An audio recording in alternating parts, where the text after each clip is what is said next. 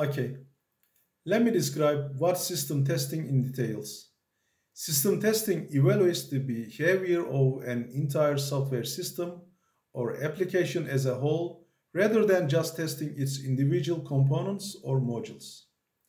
The goal of system testing is to verify that the software system meets its functional and non-functional requirements and is ready for deployment to its intended environment. Here are some key aspects of system testing. The scope of system testing is to encompass the entire software system, including all its components, modules, interfaces, and interactions with external systems.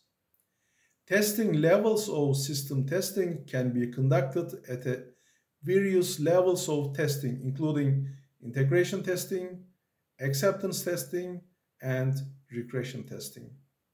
System testing is typically performed in an environment that closely resembles the intended production environment, including hardware, software, network, and database configurations. System testing can involve a variety of testing techniques, such as functional testing, performance testing, security testing, usability testing, and compatibility testing.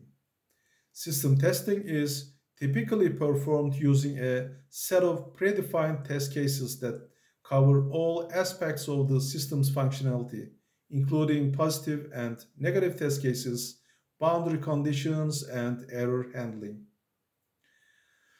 And system testing can be conducted manually or automated depending on the size and complexity of the software system and the available testing resources.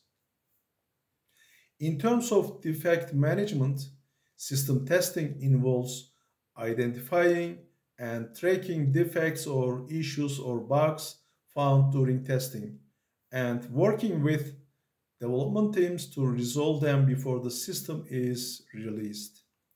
Overall, System testing is an important part of the software development lifecycle because it helps ensure that the software system is reliable, robust, and meets the needs of the users.